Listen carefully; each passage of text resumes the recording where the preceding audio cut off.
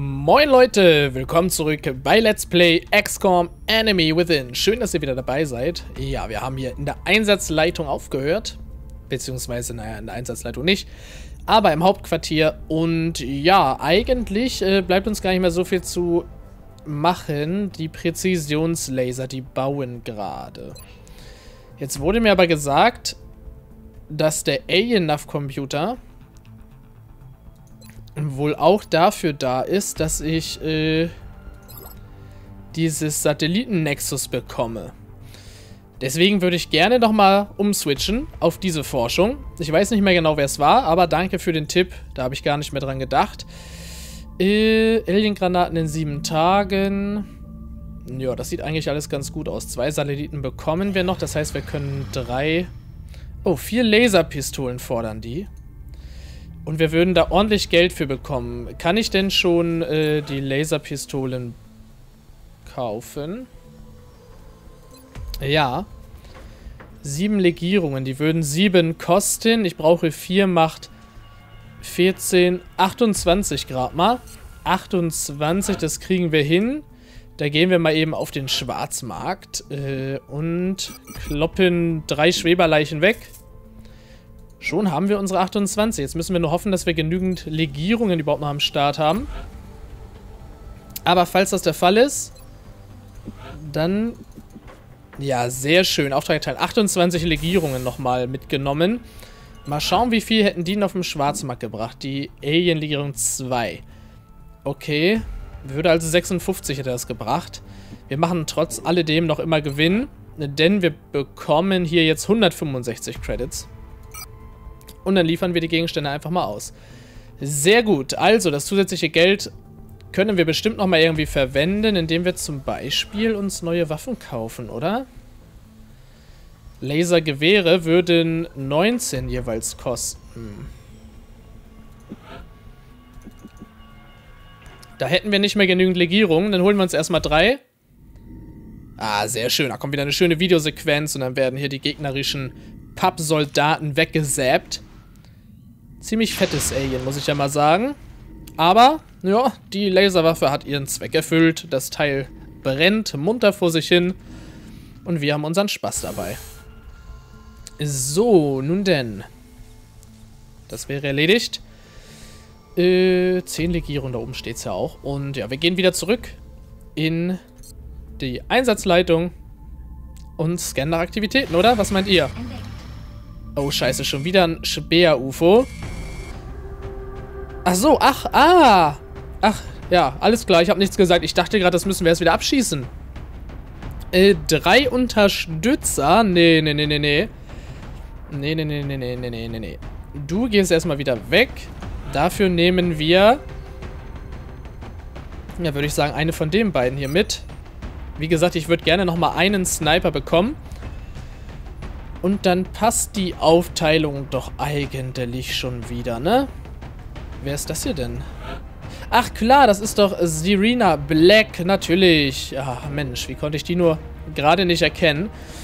Ja, äh, legen wir so los? Nein, legen wir nicht, denn wir brauchen einen Pulsbogen. Da würde ich am liebsten meiner Sturmsoldatin geben. Oder aber... Oder aber... Oder aber Solensis. Ähm... Unterstützer wäre auch nicht so verkehrt eigentlich, ne? Äh, ja, komm. Der bekommt mal eben nochmal... Achso, warte mal, die müssen eh alle... Ja, klar. Ihr bekommt alle die Schalenrüstung... Oh, ich konnte gar nicht so viele Schalenrüstungen bauen, oder wie? Habe ich da jetzt einen kleinen Fehler gemacht? Äh, bip, bip, bip, bip, Warte mal, warte mal, warte mal, warte mal. So, sorry, jetzt war ich irgendwie mit meinen Gedanken total unsortiert, habt ihr wahrscheinlich gerade selber gemerkt. Äh, denn eine Schalenrüstung braucht ja nur 10 Legierungen. Das passt also genau. Sehr schön. Dann können wir alle Leute mit Schalenrüstungen ausstatten. Das finde ich schon mal sehr, sehr gut. So, den Sky Ranger losschicken. Ja, bla bla bla. Also die neue Soldatin soll mit. Ähm, Solensis, du bekommst trotz alledem... Ja, du bekommst trotz alledem von mir dem Vorbild der Legierungen entwickelt, die am Raumschiff der Aliens eingesetzt wurden. Ja, toll. Sie sollte leichter und stärker sein als alles, was wir früher verwendet haben. Sehr schön. Äh, du bekommst natürlich auch noch ein Lasergewehr. Obwohl, warte mal, der braucht das nicht so dringend. Oder doch, eigentlich ja schon. Ja, ja, du bekommst ein Lasergewehr. Und du bekommst den Pulsbogen. Sehr gut. So, Fischi, mein werter Freund. Du bekommst natürlich auf jeden Fall auch, nein, nicht Individualisierung, Bewaffnung, eine Schalenrüstung verpasst. Sehr hübsch siehst du aus. Genie bekommt natürlich auch nochmal eine Schalenrüstung und ein Lasergewehr. Äh, ja, genau. Das passt.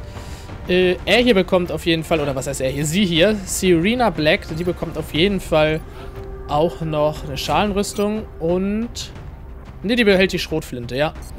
Das passt, das passt, das passt. Dann kann nämlich genau die neue hier, die neue, bekommt auch eine Schalenrüstung und das Lasergewehr. Und unser lieber Ilya, der bekommt natürlich auch nochmal eine Schalenrüstung. Ihr seht schon, die Schalenrüstung bringt im Gegensatz zu der Panzerrüstung, die nur einen Gesundheitsbonus bringt. Ne, da seht ihr schon, äh, die Schalenrüstung bringt vier.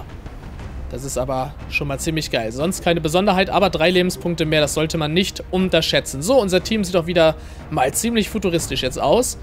Und wir starten den Einsatz. Wir sollen den Außenweltler-Alien fangen. Vielleicht bekommen wir das ja sogar in dieser Runde hier hin. Das wäre auf jeden Fall ziemlich pornös. Ich würde mich auf jeden Fall sehr freuen, wenn wir es schaffen. Äh, beginne den Angriff.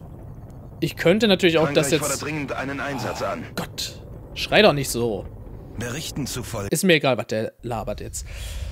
Ich könnte natürlich den Außenweltler-Alien jetzt nochmal über den Haufen ballern und hoffen, dass noch weitere UFOs abstürzen. Sodass die Leute sich aber ein bisschen beruhigen. Versteht ihr, wie ich das meine? Freigabe zum Einsatz erteilt. Rückt mit äußerster Vorsicht vor. Ja, Wir ja, wissen ja. nichts über die Feinstärke vor Ort. Ich habe auch gar nicht geguckt, ob das jetzt ein schwerer Einsatz ist oder was. Du gehst mal hier vorne außen hin. Und sie sieht direkt drei Mutons. Drei Mutons. Ist es dein Ernst? Und natürlich verstecken die sich alle. Das ist doch jetzt ein schlechter Witz.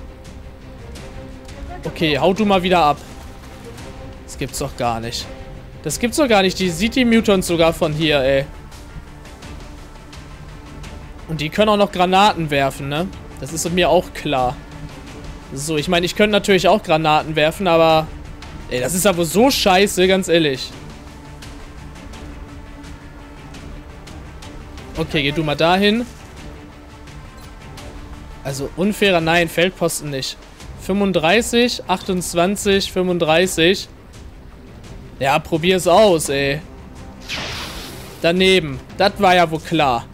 Das war ja wohl klar. So, Fischi. 38 Prozent. Okay, warte mal. Machen wir anders. Fischi. Du rotzt mal eben deinen Raketenwerfer da hinten rein. Und zwar so, dass wir... Ich weiß, das ist jetzt ein bisschen dämlich, wie ich das mache, weil ich den erstmal die Deckung hätte wegballern sollen. Okay, ich muss so schießen, damit ich die beiden da oben treffe. So, Fischi. Dann zeig mal, was du kannst. Nice one. So, dann kriegen wir hoffentlich zwei Mutons in meinen Tod. Warte mal, wo ist mein Sniper? Wo ist mein Sniper? Ilya, sehr gut. Da ist er doch. 52-prozentige Chance. Wollen wir es riskieren? Wollen wir es riskieren oder wollen wir es nicht riskieren? 78, 78. glaube, ich baller den jetzt einfach so weg. Dass ich zumindest schon mal ein Problem weniger habe. Oder? Ja, ja, ja. Gegen einen Muton wird das Team hoffentlich noch antreten können. Das dürften die noch schaffen. So, Scarlet. Warte mal, erstmal habe ich doch hier hinten noch, genau, mit Sturm und Schuss noch wen. Mit Sturm und Schuss haben wir auch noch wen. Die könnte hier vorne hinrennen und den hier nochmal eine verpassen. Das würde natürlich auch gehen. Äh, gut, das heißt, du, mein lieber Freund, gehst hier vorne hin zu Lenses und triffst jetzt... Ey, du musst den jetzt treffen, ne? Sehr schön. So, Lenses, auf dich ist Verlass. So wünsche ich mir das. Und Serena Black macht jetzt mit Sturm und Schuss mal eben einen kleinen Spurt nach hier vorne. Und schießt dann auch noch auf den verbliebenen Muton. Sie sieht ihn nicht. Okay, dann halt Feldposten. Eine Alien-Granate müsste sie überleben, theoretisch. So, mal schauen, was er macht. Er wird schießen, oder? Ja, er schießt auf die Leute ohne Deckung auf Fishy mal wieder, wa? Oh Mann, es erwischt auch immer Fishy, doch. Es erwischt auch immer Fishy. Nun denn, vielleicht hat Fishy immerhin die Chance. Fishy, geh mal da oben hin. Äh, nochmal ein bisschen Schaden. Ein... Och, Fishy, was ist denn los mit dir? 31-prozentige Chance. Nee, nee, nee, komm. Fishy wird gleich eh nicht mehr so wirklich mit nach vorne kommen. Habe ich jetzt mal eben beschlossen. Deswegen wirf einfach mal die Granate, mein lieber Fishy. So. Serena Black. Keine Deckung weit und breit, dann stellt sie sich halt... Hier wird auch gehen, wa? Nee, geh du mal lieber da oben hin. Von da aus dürftest du den ja wohl auf jeden Fall treffen. Verursacht bis zu 5 Schaden. Da kommen schon, jetzt machen kritischen. Geht doch. 6 Schaden. Ein Muton-Problem weniger. So, jetzt können wir die Leute hier auch ein bisschen nach vorne schicken. Die brauchen jetzt erstmal keine Angst haben, dass da doch noch irgendwelche Gegner aufkreuzen. Ähm, er hier hat doch einen... Nee. Ah, er hat den... Ah, shit. Okay, jetzt habe ich es ein bisschen vercheckt. Äh, ja. Rennt alle nicht ganz so weit nach vorne. Nicht, dass wir gleich die nächsten Gegner aufschrecken. Du gehst hier hin und lädst schon mal nach. So, Ilja würde ich auch gerne nachladen lassen. Deswegen geht er mal eben hier vorne hin. Und dann lädt er nach. Wir heilen Fischi, Leute. Wir heilen Fischi. Habe ich jetzt gerade nochmal so entschieden, dass Fischi geheilt wird, ja. Die Ginny, genau, die ist für die Heilung zuständig. Äh, das heißt, Fischi, du gehst mal eben... Du gehst einfach mal gerade neben sie. Und kannst dann auf Feldposten gehen. Warte, warte, warte. Und hier muss jetzt erstmal geheilt werden. Stell dich nicht so an, geh wieder raus. Ja, echt mal, Fischi. Stell dich mal nicht so an, ey. Du kannst aber noch kämpfen, du alte Pussy. So, wir brauchen Deckung. Du gehst hier vorne hin. Und gehst auf Feldposten. Ich glaube, es ist eine sehr schwere Mission, meine lieben Freunde. Ansonsten wüsste ich ehrlich gesagt nicht, warum die Mutons hier zu dritt sein sollten. Ich glaube, das kommt nur, wenn es eine schwere Mission ist. So, du gehst da vorne hin. Meldcontainer, drei Runden. Also nach dieser zwei, wenn er spurtet, könnte er es schaffen. Aber soll er hier vorne hin? Ja, komm, du gehst mal ein Stückchen weiter. Keine Aliens, sehr gut. Serena Black, du gehst einen nach vorne. Würde nämlich gerne nochmal nachladen erstmal mit dir. Sicher ist sicher. Und dann sind schon wieder die Aliens dran. Wow, da habe ich jetzt gar nicht mit gerechnet. So, die Genie. Oh, da sieht er sogar demnächst wohl noch den nächsten Meldcontainer. Er geht hier hin, eine Runde, kann zum Meldcontainer gehen, kann ihn noch mitnehmen. Ja, geh da hin. Keine Gegner, das ist schon mal schön. Lad deine Waffe mal nach. So weit vorne der Bengel, ey. So, Serena Black. Die Schwester... Die Energiequelle des Raumschiffs zu sein. Ich kann mir nur vage vorstellen, wie viel Energie benötigt wird, ein Schiff dieser Größe anzutreiben. Ich würde aufpassen, wohin ich dort unten schieße.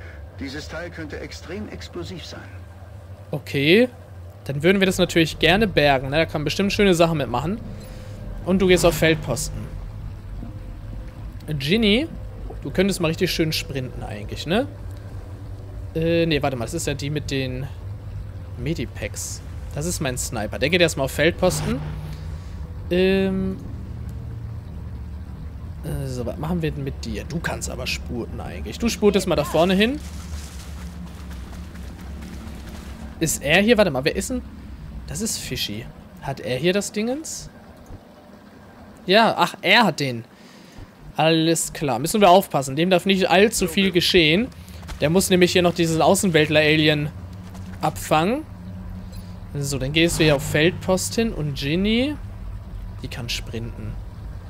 Die spurte mal hier oben hin. Da hat sie eine schöne Stellung. Kann zwar nicht mal auf den Feldposten gehen, aber egal. So, die Gegner sind dran. Im UFO scheint auf jeden Fall Party zu sein. War ja aber schon klar. Und da sehen wir doch direkt mal eben drei Schweber. Yo, geiles Ding. Da knallt sie direkt einen weg. Fischi ballert auch nochmal los. Alter, macht mir jetzt nicht dieses Ding da kaputt, was da drin ist. Und, wow, Elia hat auch noch wen weggesnipert. Ja, so schnell ist nur noch ein Schweber da. Und Ginny hat eine 62-prozentige Chance, den zu treffen. Schweber haben wir ja auch schon verhört. Deswegen könnten wir den über den Haufen ballern. Gar kein Problem. Er ist tot. Ich überlege gerade, müsste ich nicht eigentlich Plasmawaffen jetzt auch von denen abgenommen haben? So, du gehst mal eben da vorne hin. Klaust uns dann das Meld. Und spurtest dann nochmal hier hin. Und jetzt mal ohne Witz. Ich habe doch die Mutons getötet. Haben, die haben doch Plasmawaffen, oder nicht? Oder wo habe ich jetzt den Denkfehler? Keine Ahnung. Geh du mal da rein. Da ist der Außenweltler.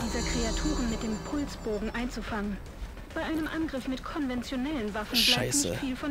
Aber auch noch drei Schweber, meine werten Leute. Auch noch drei Schweber. Das ist natürlich jetzt nicht ganz so das, was ich mir gewünscht habe. Deswegen haut sie erstmal wieder ab. erstmal hier schnell weg. So, sie könnte jetzt hier vorne hingehen. Und geht dann auf Feldposten. Fischi, mein werter Fischi. Geht Fischi noch ein Stück nach vorne? Ja, ruhig, ne? Oder? Ja, komm, Fischi, du hältst das aus, oder? Du bist doch hart im Nehmen. Dann gehst du hier auf Feldposten. Und Ilja, was, der kann sogar wen sehen? 68-prozentige Chance. 55 kritisch. 68-prozentige Trefferchance. Soll es mal riskieren? Ja, warum eigentlich nicht, oder? Daneben. Oh, so ein Pech aber auch. Egal, dafür hat er vorhin wen weggesnipert. Und die Gegner sind dran. Mal schauen. Ich hoffe, wir kriegen den Außenweltler. Wer sieht den da jetzt? Ah ja, alles klar. Nice one. Wieder ein Gegner gekillt. So muss es sein. So stelle ich mir das vor. So, da kommt der nächste Schweber. Der Außenweltler geht dort hinter. Okay. Oh, schießt auf den Typen, der ihn mal schocken soll eigentlich. Das ist natürlich jetzt ein bisschen blöde gelaufen. Äh, spurtest du da einfach mal weg, oder? Boah, der könnte ja mega weit spurten. Ist nur blöde, weil das Spurten mir im Prinzip gerade nichts bringt, so wirklich. Okay, spute du mal hier vorne hin. Nein, shit. Oh, oh. Daneben. Also, Solensis, Schwein gehabt, mein werter Freund. Das hätte auch böse enden können. So, Serena. Serena. Na, die bleibt erstmal. Die geht mal auf Feldposten. Könnte eigentlich alle auf Feldposten stellen. Die könnte noch ein Stück nach vorne gehen. Und sie sieht 57-prozentige Chance, den einen da drin. Na, okay, mal schauen. Daneben. Scheiße. So eine Scheiße. So, Fischi. Fischi, du solltest auf Feldposten gehen. Und Ilja, du gehst auch auf Feldposten. So, mal schauen, ob die Aliens sich raustrauen. Ah, da hinten kommt ein Schweber. Fischi sieht ihn. Und ballert den ab. Sehr gut. Seht ihr wohl? Deswegen habe ich Fischi mitgenommen. So, wir müssen auf den einen Außenweltler warten. Da ist der andere Schweber, okay. Oh, der schießt da hinten auf sie. Nein, und trifft sie auch noch, ey. Also die haben manchmal auch mehr Glück als Verstand. Er steht da und schießt... Nein. Fuck. Alter.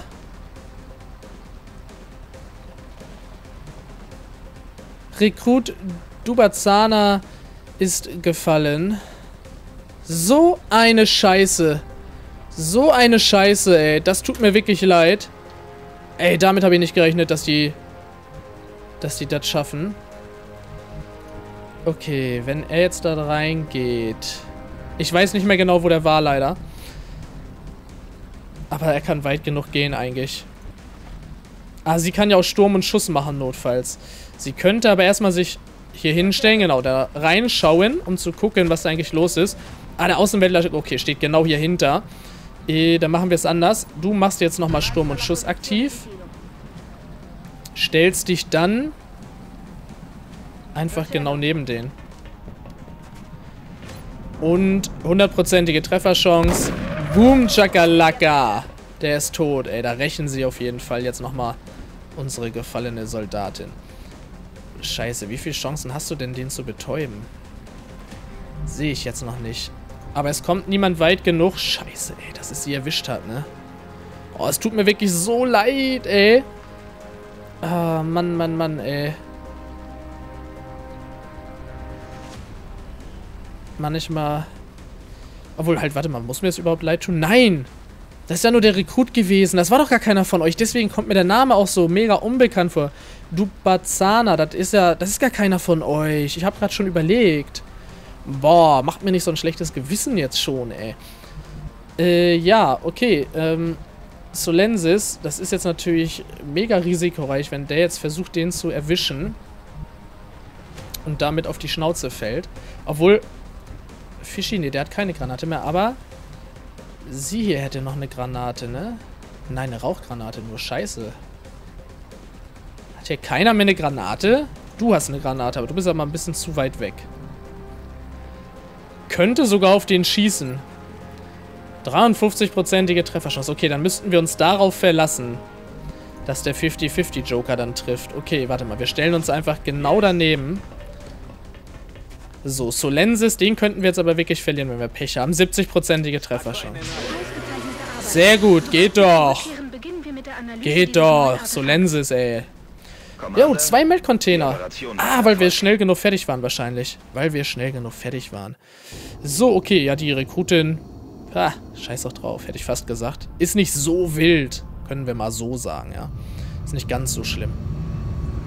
Aber trotzdem natürlich ein bisschen ärgerlich. Vertane Chance. Wer weiß, vielleicht wäre ja ein Sniper daraus geworden. Und wir haben den Außenwäldler gefangen, meine werten Freunde. Wir haben ihn ist gefangen. Ist das alles, was von der Kreatur übrig ist, die wir einfangen wollten? Ja, vielleicht haben wir die Quelle der seltsamen Messwerte gefunden, die wir empfingen, als wir ihm zum ersten Mal begegnet sind. Worum handelt es sich, Doktor? Wir sind uns nicht ganz sicher. Es ist organischer Natur, aber extrem magnetisch. Und es scheint äußerst schwach innerhalb eines elektromagnetischen Spektrums zu schwingen. Derzeit ist noch unklar wie oder... Vielleicht fehlen Ihnen ganz einfach die Fachkenntnisse, um das zu verstehen, Doktor. Falls es stimmt, was Sie sagen, dann ist dieses Objekt eine Antenne, die ein Signal empfängt. Dieses Signal, können wir es zurückverfolgen? Nein, zumindest bis jetzt noch nicht. Zuerst müssen wir seinen Verschlüsselungsalgorithmus bestimmen. Mein Team kann das machen? Dann werde ich mich auf die Entwicklung einer Schnittstelle zwischen dem Objekt und unserem globalen Kommunikationssystem konzentrieren, damit wir das Signal nachverfolgen können. Demnach sollten wir unsere Priorität auf die Erforschung dieses Kristalls richten. Ja, das machen wir auch demnächst, aber zumindest in Alien-Navigationscomputer würde ich gerne noch machen. Oh, wir haben wieder ein paar Beförderungen. Aha, so ein Pech, dass der gefallen ist hier. Fischi mal wieder sechs Tage verletzt, ey. Fischis Motto ist auch Montag ist Schontag. Ich weiß auch nicht, ey. Der ist mehr im Krankenhaus als auf dem Schlachtfeld. Also, Fischi, denk mal drüber nach, ne, über deine Arbeitseinstellung. Äh, ja, Ilya wurde befördert, äh, Solensis wurde befördert, äh, Janine wurde befördert. Das machen wir. Oh, und ein Verteidiger. Was? Eine Verteidigernadel? Ist die neu? Ich weiß es nicht. Auf jeden Fall. Leichtes Plasmagewehr. Siehst du wohl? Ah, haben wir doch was geborgen, ne? Schauen wir uns beim nächsten Mal an, würde ich sagen. Meine werten Freunde, an der Stelle machen wir erstmal einen Cut für heute. Wir haben ja wieder mal 25 Minuten hier fast gezockt. Meine Güte, doch, wir waren wieder fleißig. Ich würde mich freuen, wenn ihr beim nächsten Mal auch wieder dabei seid. Und bis dahin wünsche ich euch natürlich noch einen schönen Tag. Macht's gut. Ciao.